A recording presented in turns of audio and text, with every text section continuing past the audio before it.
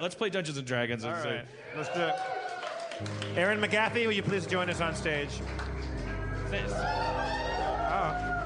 And Carlos, once again, thank you for my beer, sir. Is this legal? Can I do this? All right, perfect. Ca- Carlos broke the law by bringing you the beer because he's not eating while he's doing it. if Carlos has to have a pretzel in his hand in order to bring you the beer. uh, all right. So, so, so Erin, uh, I never know how the show's going because I'm up here. Uh, did I bore people with my political and religious? Uh, Uh, no, I thought I thought it was, it's a, it's a great show so far. There's a lot of content and uh, four thought it was- four star review from my girlfriend. I like I liked a whole lot. I, li- I love the religious talk. You know, my dad was a preacher and my mom was a theology professor, so I love that stuff. Is that why I, I turn you on? Because remind you of I your mean, dad? uh, if you want to be gross, I think so a little bit. you're, you are you're kind of a. I was thinking about this a few mi- a few nights ago. You're kind of a preacher. Uh, you're a fisher of men a little bit. Um, I have a congregation. yeah, similar to my dad. Yeah. Does he smell? Does he smell fine. like? Does he smell like your dad? no, the dicks taste the same, but um, Ba-da-ba, ba-da-ba. bread. Bread. Yeah, they, they, they taste like focaccia.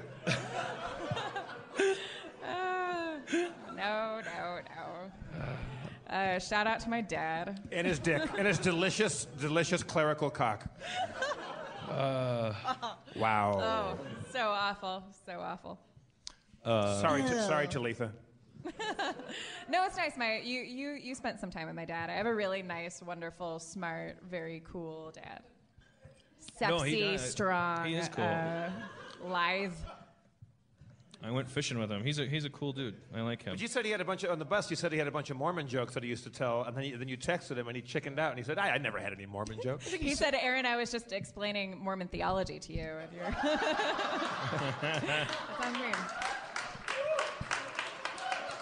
I mean, if you find that funny, uh, it's, it's in the eye of the beholder. It's on you. But I thought you told me a story once about when your dad was a uh, Navy chaplain. He, he he had a Scientology book in his office, and and and, and uh, somebody asked him why what, what's going on, and, and and he said, "I'm reading this because one of the seamen that I, one of my flock uh, is a Scientologist, and I want to. He's reading all the Scientology books Yeah. so that he can be a better chaplain to and- yeah. uh, whoever's whoever's on, on board his ship. That's, cool. that's, Smart- that is fucking dude. cool.